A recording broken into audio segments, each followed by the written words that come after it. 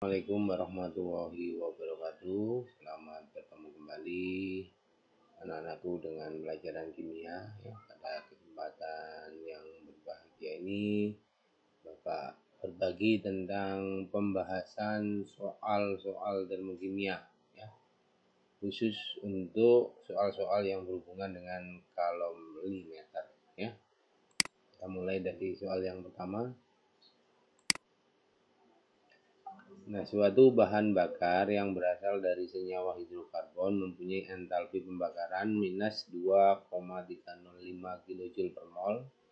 Bila bahan bakar MR sama dengan 40 tersebut dibakar sebanyak 10,5 gram, maka entalpi pembakaran yang dihasilkan adalah nah, dari soal yang ada ya maka yang pertama kita ketahui bahwa entalpi pembakarannya minus 2,305 kJ per mol. Ya, sehingga kita hitung dulu mol bahan bakar tersebut ya. Gram per mr berarti 10,5 dibagi 44 ya mol ya. Karena kita tidak disuruh menghitung angkanya hanya bagaimana persamaannya. Nah, sehingga mol yang ada itu kita kalikan dengan ya, besarnya entalpi pembakaran sehingga ketemu 10,5 kali 2305 dibagi 44 ya sehingga jawabannya adalah A ya. Nah, soal nomor 2 sebanyak 2 gram NaOH MR40 dilarutkan ke dalam kalorimeter yang berisi 100 gram air. Setelah larut, ternyata suhu kalorimeter beserta isinya naik dari 28 derajat Celcius menjadi 38 derajat Celcius. Jika kalor jenis CP-nya sama dengan 4,2 Joule gram pangkat min 1 Kelvin pangkat min 1 dan massa NaOH diabaikan, maka delta H pelarutan NaOH dalam air dinyatakan dalam Joule mol pangkat min 1 adalah yang pertama kita hitung dulu mol NaOH pakai rumus gram per mr berarti 2 per 40 ya Nah, di mana kita ingat bahwa rumus daripada Khi sama dengan M dikali CP dikali delta T. Ya, sehingga 100 dikali 4,2 dikurangi dengan delta T 38 dikurangi 28 ya. Sehingga persamaannya 100 kali 42 kali 10 dan jangan lupa dibagi dengan molnya ya. Nah, setelah dibagi dengan molnya maka angka 40 naik ke atas ya. Sehingga jawaban yang tepat adalah A ya minus 100 kali 4,2 kali 10 kali 40 dibagi 2 ya. Nah, kita lanjutkan ke soal nomor 3. Air sebanyak 2 liter dipanaskan dengan pembakaran LPG dari suhu 27 derajat Celcius menjadi 75 derajat Celcius. Jika LPG dianggap C3H8 ya MR-nya 44 dan terbakar sebanyak 44 gram, Seluruh energi dari pembakaran LPG digunakan untuk menaikkan suhu air. Massa jenis air 1 gram per cm kubik. Kalor jenis air 4,2 Joule gram pangkat min 1 derajat Celcius. Besarnya perubahan entalpi reaksi pembakaran LPG adalah Nah, kita lihat ternyata air yang dibakar, dipanaskan sebanyak 2 liter. Itu sama dengan 2 kilogram ya. Sehingga sama dengan 200 gram ya. Nah setelah itu kita hitung dulu mol dari C38 44 dibagi 44 berarti sama dengan 1 mol ya. Sehingga H sama dengan MC delta T M nya ini adalah ya masa air ya 200 gram dikali 4,2 dikurangi delta T 75 kurangi 27 ya hingga ketemu 403 200 joule kita rubah ke kilojoule dibagi dengan 1000 ya sehingga 403,2 kilojoule ya. Sehingga delta H itu sama dengan min H ya. Sehingga kita lihat 403,2 dibagi molnya molnya 1 ya.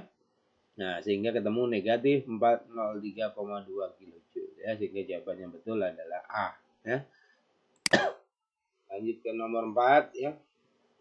Kalor yang dihasilkan dari pelarutan CaCl2 ya Mr sama dengan 111 di dalam air digunakan pada kantong penghangat P3K. Reaksi pelarutannya adalah CaCl2 solid menghasilkan Cu2 plus AHI plus 2Cl min AHI. delta H sama dengan min 83,6 kJ.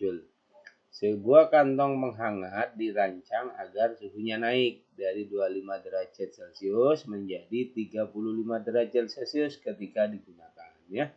Jika kapasitas kalau kantong penghangat beserta isinya adalah 418 Joule per derajat Celcius, masa CaCl2 yang harus ditambahkan ke dalam kantong tersebut adalah Nah, karena yang diketahui adalah kapasitas kalor ya, berarti KK ya. Kadang-kadang ada pakai CP ya. Sehingga H sama dengan KK dikali delta T ya. Nah, ketemu 418 dikalikan dengan 10 4180 joule. Nah, nah delta H sama dengan min H ya. Tetapi jangan lupa selalu dibagi dengan molnya ya. Sehingga min H per delta H itu sama dengan mol ya Nah, sehingga mol sama dengan Q per delta H. Sehingga ketemu Q-nya min 4180 dibagi 8360 ya. Sehingga ketemu 0,05 mol. Ya, sehingga massa dari CaCl2 massa sama dengan mol kali ml. 0,05 kali 111 hingga 5,55 gram. Sehingga jawabannya betul adalah B 5,55 gram. Ya, kita lanjutkan ke nomor 5. Jika 100 cm kubik larutan NaOH 1 molar direaksikan dengan 100 cm kubik HCl dalam sebuah busana, ternyata suhu larutan naik dari 29 derajat Celcius menjadi 37,5 derajat Celcius. Jika larutan dianggap sama dengan air, kalau jenis air 4,2 Joule gram pangkat min 1 Kelvin pangkat min 1 masa jenis air 1 gram cm kubik mangkat min 3 maka delta netralisasi adalah yang pertama kita hitung dulu mol masing-masing ya. Itu mol HCl ya. Ini kalau kita kalikan berarti ketemu 100 milimol kita rubah ke mol dibagi 1000 berarti 0,1 mol.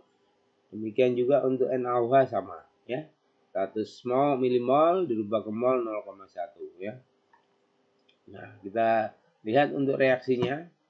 HCl ditambah NaOH ini terjadi reaksi penetralan ya karena ini asam. HCl asam, NaOH basah sehingga terjadi reaksi penetralan menghasilkan garam dan air ya. Volume larutan itu merupakan penjumlahan dari kedua larutan yang kita reaksikan ya sehingga HCl-nya 100, NaOH-nya 100 sehingga 200 cm kubik. Sehingga massa larutan sama dengan ya 200 kali 1 berarti 200 gram. Ya. Q sama dengan MC dikali delta T. Berarti 200 kali 4,2 dikalikan delta T. Hingga ketemu 7140 Joule. Dan delta H sama dengan min Q per mol. Ya. Berarti 7140 Joule dibagi 0,1. Berarti sama dengan 71400 Joule atau kita rubah ke kilojoule dibagi 1000 sehingga jawabannya min 71,4 kilojoule per mol. Maka jawabannya adalah C ya min 71,4 kilojoule per mol. Jangan lupa pembakaran itu selalu bernilai negatif ya. Nah, ini reaksi yang lain ya. Jadi nomor 6. Dalam suatu reaksi kimia dibebaskan 8,4 kilojoule energi Kalor ini digunakan untuk memanaskan 100 cm kubik air. Maka kenaikan suhunya adalah bila diketahui kalau jenis air 4,2 Joule gram pangkat min 1 derajat Celcius pangkat min 1. Kita lihat tadi soalnya ini airnya 100 cm kubik berarti sama dengan 100 gram ya. Sehingga Q sama dengan M kali C kali delta T dan delta T sama dengan Q per M kali C. Ya, kita masukkan 8,4 ya dibagi dengan masanya 100 kali C 4,2 hingga delta T sama dengan 8400 dibagi 420 ya sehingga ketemu 20 derajat Celcius. Jadi jawaban yang tepat adalah D ya 20 derajat Celcius. Nomor 7 dalam kalorimeter terdapat zat yang bereaksi secara eksotermik dan ternyata 0,5 kg air yang mengelilingnya sebagai pelarut mengalami kenaikan temperatur sebesar 3 derajat. Kalau jenis airnya 4,2 joule gram per gram derajat Kelvin.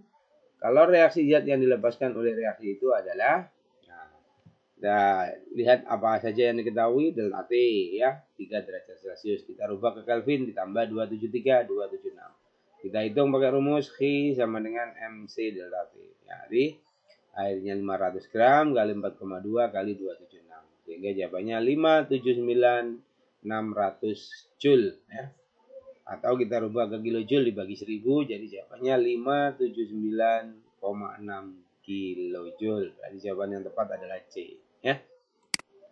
Kita lanjut ke nomor 8 ya. Pada suatu percobaan 3 liter air dipanaskan sehingga suhu air naik dari 25 derajat Celcius menjadi 72 derajat Celcius. Jika diketahui massa jenis air sama dengan 1 gram nah, mililiter min 1 dan kalori jenisnya 4,2 joule per gram derajat Kelvin, hasil delta reaksi pemanasan tersebut adalah Nah, untuk pembahasannya ya, masanya kita cari dulu ya karena ini air jadi nya satu berarti 3 liter sama dengan 3 kg sama dengan 3000 gram ya. Q sama dengan MC delta T berarti 3000 dikali 4,2 ya di ini perubahan suhunya ya. Jadi perubahan suhunya dari langsung saja juga bisa ya. 72 kurangi 25 karena penambahannya sama ya. Sehingga kita kalikan dengan 47 ya sehingga ketemu 592.200 joule. Kita rubah ke kilojoule dibagi 1000. 592,2 kilojoule sehingga jawaban yang tepat adalah ya. Soal nomor 9 ya. Dalam suatu kalorimeter direaksikan 200 cm kubik larutan NaOH 1 molar dengan 200 cm kubik larutan HCl 1 molar. Ternyata suhunya naik dari 29 derajat Celcius menjadi 36 derajat Celcius. Kalor jenis larutan dianggap sama dengan kalor jenis air yaitu 4,18 Joule per gram derajat Kelvin dan massa jenis larutan dianggap 1 gram per cm kubik jika dianggap bahwa kalorimeter tidak menyerap kalor, tentukan perubahan entalpi dari reaksi netralisasi NaOH plus HCl menghasilkan NaCl plus H2O. Nah, nomor 9, pembahasannya Ki reaksi itu merupakan penjumlahan dari Ki kalorimeter plus Ki larutan, tapi bernilai negatif. Oleh karena kalorimeter dianggap tidak menyerap kalor, maka Ki reaksi sama dengan min larutan. Berarti tinggal Ki larutannya saja. Ya.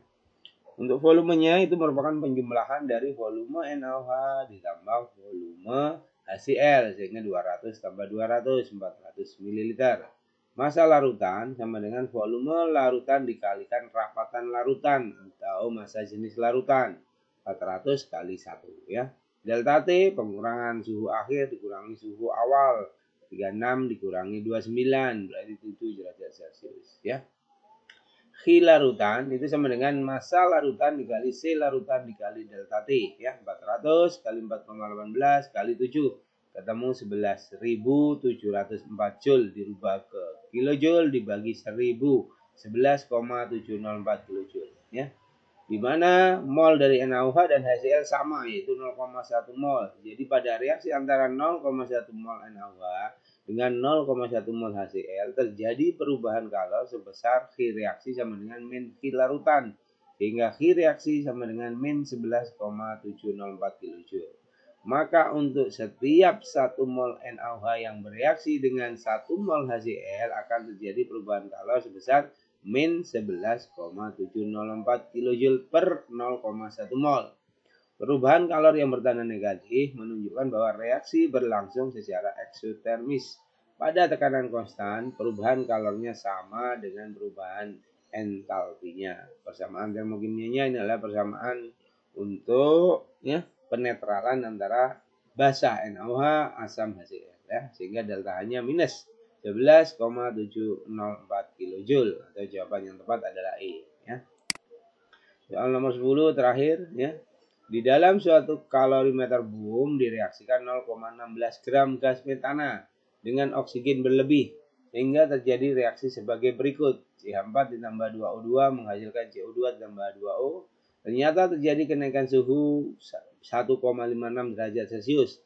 Jika diketahui kapasitas kalor boom kalorimeter adalah 958 Joule derajat Celcius pangkat min 1, masa air di dalam kalorimeter adalah 2000 gram dan kalor jenis air 5,18 Joule gram pangkat min 1 Celcius pangkat min 1. Kalor pembakaran gas metana dalam kilojoule per mol adalah Nah, untuk pembahasannya ya, kalori yang dilepas selama reaksi berlangsung sama dengan kalori yang diserap oleh air dan oleh boom dalam kalorimeter. Maka Hi reaksi sama dengan min Hi air ditambah Hi kalorimeter boom ya. Hi air kita hitung dulu. M air kali C air kali delta T kita masukkan 200 kali 5,18 kali 1,56 ya ketemu 16.161 joule boom sama dengan boom dikali delta T. 958 kali 1,56 sama dengan 1494 Joule. Maka Hi reaksi sama dengan min penjumlahan dari Hi air dan Hi boom. Sehingga ketemu minus 17.655 Joule. Atau kita rubah ke kilojoule dibagi 1000 min 17,655 kilojoule. Jumlah metana yang dibakar sebanyak 0,16 gram ya kita bagi dengan ml dari metana yaitu 16 sehingga ketemu 0,01 mol. Maka untuk setiap reaksi pembakaran 1 mol CH4 akan dilepas kalor sebanyak yang kita bagi hasilnya tadi dengan 0,01 minus 1765,5 kJ per mol. Karena reaksi berlangsung pada volume del delta V sama dengan 0, maka delta U sama dengan V sehingga delta U sama dengan min 1765,5 kJ per mol ya. Terima kasih, semoga kita terus diberikan kesehatan di tengah pandemi COVID-19 sehingga segera kalian bisa belajar dengan tatap muka dengan Bapak Ibu guru. Kurang lebihnya mohon maaf. Assalamualaikum warahmatullahi wabarakatuh.